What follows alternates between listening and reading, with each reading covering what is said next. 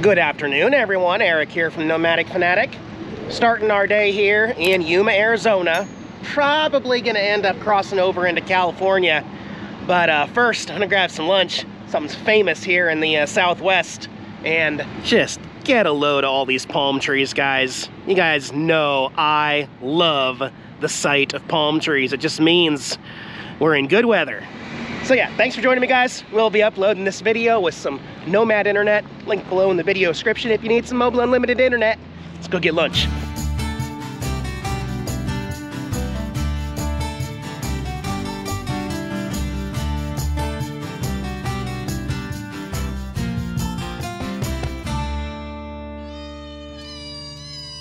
That's right, y'all. In-N-Out a beautiful staple of the Southwest here. Um, I was gonna say it's been a while, but actually, uh, Jason and Candace and I went to one. They have an In-N-Out uh, up in Kingman, Arizona, where their house is at, where their property's at. So, uh, anyway, let's go get a burger. All right, we're almost up there. They're pretty busy here today. Figured I'd uh, eat outside. View of some uh, palm trees around here. Pretty, pretty basic menu. There's only three things on their menu. Just went with their regular plain burger there and then you know I'm gonna throw it on the ground. No, I'm not. I'm enjoying it. Mm. Mm. Mm. In-N-Out is to the southwest what like Whataburger is to Texas. Two great burger chains. Not my favorite uh, burger chain. Uh, well, my favorite burgers are from Five Guys. And they're pretty much everywhere in the country, where these ones are just here and Whataburgers are only in Texas. Well, that was scrumptious. I don't know when the next time I'll be in this particular area will be, probably February. Um, I want to go a little bit farther into California. Uh, Dave was telling me about another one of these campgrounds that's, that's included with my LTVA. A little bit farther into California though, about 45 miles on I-8. So I'm gonna pack it up, check on the kitties, and we'll, uh, we'll head west. Okay, we're in California now on Interstate 8, uh, heading west. It's uh, plenty of sunshine. It's close to 75 degrees today.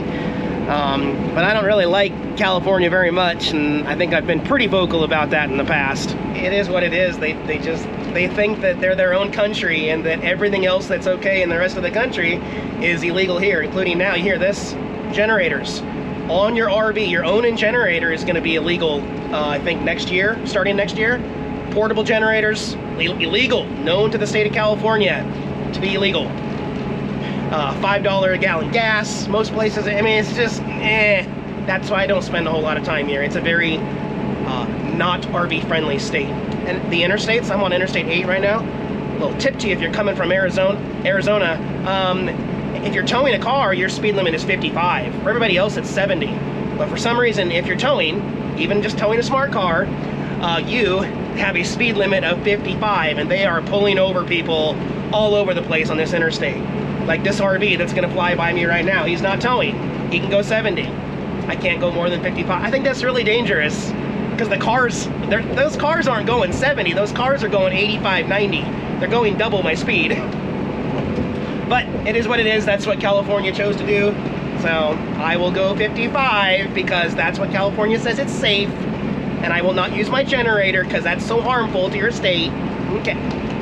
Really what they're doing is alienating all RV travel in, for the future. And Oh, but wait, it gets even better. They have checkpoints on the interstate. We haven't even left the country and you got checkpoints. It's at their discretion who they want to stop. They just waved me right through that time. There'll be more. There'll be lots more. Well, I'll tell you this much. Don't uh, drive off the shoulder here on the interstate. Look at all that sand. It's just, it's literally like sand dunes everywhere in the middle of the, or on the outside of the interstate. Oops.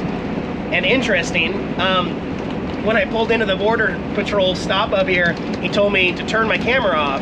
At, at first I was gonna argue with him because like, like police interactions and stuff, they can't tell you to turn it off, but I think it's different with Border Patrol because they don't want you broadcasting like how the operations work at the border crossing stuff. So I don't know. I didn't turn my dash cam off though. So like, and most truckers have dash cams, but he did tell me to turn this off at the border checkpoint. border checkpoint. We're not even... Okay. All right, we're getting off the interstate here. Exit 131. Uh, we're about 45 miles into California now. So, yeah. Road's a little bumpy now, but the name of the city is Holtville. And uh, if you have your sticker, this guy just flashed his lights. You know what? I know whose RV that is. That is Dave's Bounder. That's too funny. I'm gonna slow down because there's nobody behind me and uh, open up the window here. What's going on, Dave and Bella? Hey guys. Hey. Well, that was fun. So Dave just gave me some information about the Hot Spring LTVA. And then he saw my post about going to In-N-Out, so I told him where to park to go get some In-N-Out burgers. And then we're gonna meet up in a couple days and uh, do something else. It's fun hanging out with friends. You don't always have to camp with friends. You can just do your own thing and then get back to them and, you know, so. But yeah, let's head up here to the entrance of the LTVA. Oh, look at all the baby palm trees being planted. It's just like back home, except instead of Christmas trees, just rows and rows and rows of baby palm trees. Oh, I want one. I want two. Okay, so bathroom over there. There's some parking here for day use. Hot spring is right over there where all those palm trees are, I guess, is where the water's at. But we're actually gonna be camping here for the night.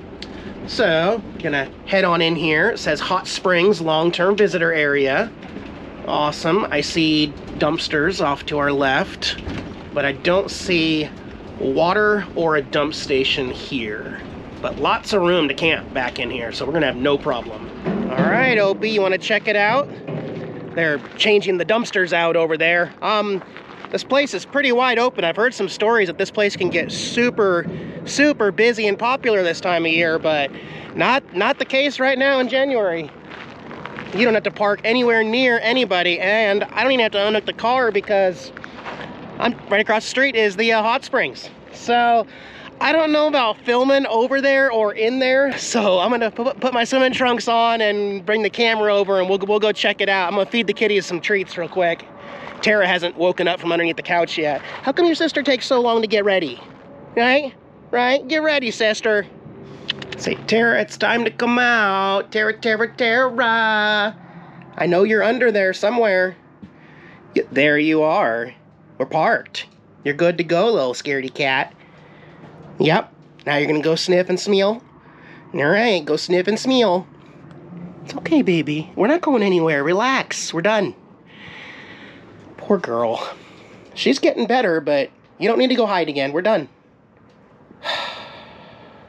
Do you suppose that uh, years down the road, Tara warms up and I don't know. Some people have told me that, you know, girl cats are just always a little more timid. And, you know, I, I, I don't know any of those. All I know is I'm basing it off what Jax was like.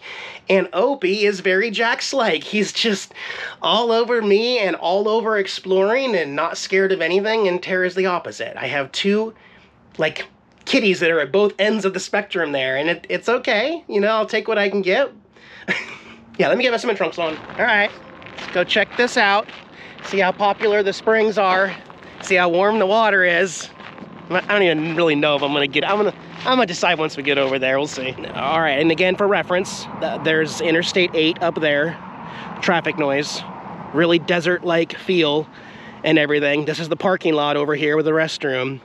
And if we continue to pan over, all of a sudden it's just dense with tropical palm trees everywhere. It's so randomly weird. There's no palm trees anywhere else in this area. It's just right here. There's the interstate where that car is going. So, this is the Holtville Hot Springs. Let's go peek between these trunks. These are huge palm trees, by the way. Look at that. Yeah. Uh, that water doesn't look too clean in there. It's pretty though. Let me see what this sign right here says. It says no swimming. Oh. Using soap prohibited. Please help prevent damage to the pond. Okay, so my mistake. This isn't actually part of the hot springs. This is just the pond. That's different. Okay, okay, so this is the only area where you can swim, by the way. So this little square part right here, and then there's three guys over in that little part. This is the only area that you're allowed to actually go in. And it looks like the water's kind of steaming.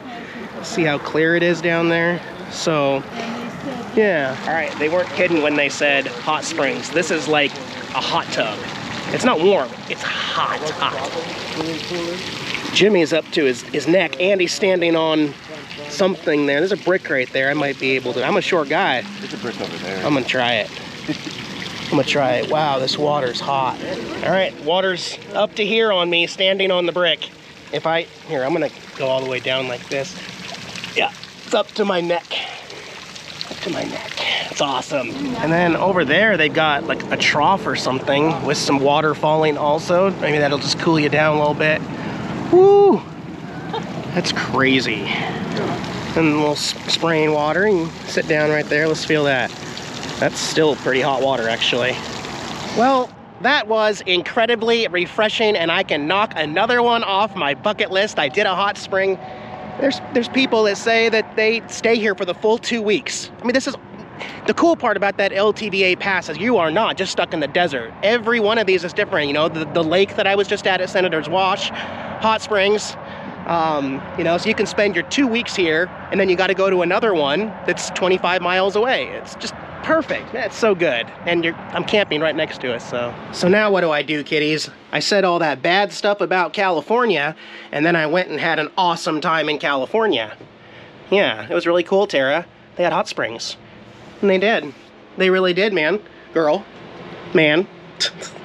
Fine, I'll eat my words. I like parts of California. It, I just don't like the politics and how the states run, but there are some pretty spots, okay? Fine, I said it. Gee.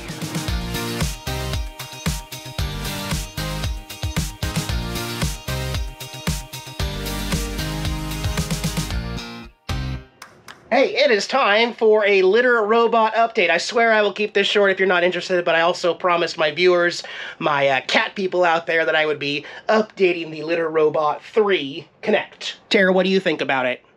Man, it's great and everything, Dad. It really is awesome, guys. After I realized um, that you don't have to unplug the thing when you're driving, you just push the on and off button right there. Yeah. um, basically, it's it, I just don't have to do anything. I used to have to scoop my litter box three times a day. I don't touch this thing uh, except one time a week. One time a week. Once a week, the only thing I do. Oh, you see, I got the step put on. I was telling you guys about the extra step. Once a week, I remove that. I pop this guy out and I empty the tray. That's all I do. There's no scooping. Once a week, I empty this, and it's probably due right now. At least shake it and make it go down so it doesn't go up too high, but this device is one of the greatest inventions of our time. Just, and I know there are other versions of automatic litter boxes that do not work, but this one is amazing. Um, I do need to wash the walls, not frequently, but maybe every couple weeks, wash the side walls and stuff like that. But it is truly a blessing having this and in the RV and having more time to do stuff other than scooping litter for two cats. If you have cats in your home, if you are traveling with cats like me and you have the room for it, Guys, I cannot even put a price on what I would pay again for one of these in my life. I will never go back to a manual litter box. There was even a time where I had two litter boxes. I had two. I thought that was a good idea. Now I don't even scoop anymore. Literally. My job is done by a robot, and I love it, and I highly recommend it. Also, cool little thrift store find, I got a tripod for my cameras for 99 cents. Um, those of you that are into tripods and videography and photography and stuff like that, usually when you find a tripod in a thrift store, it's complete junk because it's going to look something like this. Looks awesome, but it's missing this piece up here. There's nowhere to hook a camera. That's why you find these because people lose this important device right here that has the thread for the, for the camera that I'm holding right now. This piece is gone. Thrown away. Why not just throw that away? No, they put it in a thrift store, and so you find 20 of these useless things at a thrift store. But I always go to that section and look anyway because I just found something truly amazing for 99 cents in this guy right here. I literally don't even care about the brand, but it is a Velbon CX300. And guess what, guys? there is no clip that comes out when I saw that was there, I was like, whoa, you never see these. And I'm like, oh my gosh, it's permanently attached. The thread itself moves, but there is no plate, which means there's no movement. Also, I've had some time lapses, like, well, like the one I just showed you outside with the sunset and stuff like that. If it's too windy, the actual plate inside here will move around and click and you'll you'll see the horizon change a little bit. But this is priceless. You just put this camera on here and when it's on there, you twist this. You will never lose it because it's always attached. The only thing I don't like about this one is it doesn't have a hook for a weight. Like this one, this expensive one that I have right here, that little hook, that is in case you have a kitty who's moving the bottom of the tripod. Um, or if it's windy outside, it adds weight to the center, pulls it down. But I already have a fix for that, actually. I can just put a bungee around this part right here and then hang my one gallon jug from right there and it puts the extra weight on it. You know, because you always got kitties that knock over tripods and stuff. But we don't do that, Opie, because we're a good boy. It's not a toy. I'm going to be leaving California in my next video and doing something quite a bit different that you're not going to expect, but if you follow me on Patreon, you'll find out a couple days early. If you follow me on Instagram, you'll find out 24 hours early. And by the way, well, let's test out this tripod, actually. I finally got my Don't Be a Tater Hater Nomadic Fanatic hoodie. And I love it. If you ordered one, thank you so much, guys. I know these came in different colors. Also got my coffee cup. I went with the black handle and black inside. So awesome, and I've already seen quite a few people already show me or tag me on Instagram with their merchandise. Thank you guys for supporting the channel. I'm announcing in this video here today, Friday, that I've actually opened that back up. Actually, the old links will still work, but if you go to the video description below this page, there's still time to get your Nomadic Fanatic Don't Be a Tater Hater t-shirt, coffee cup, uh, hoodies.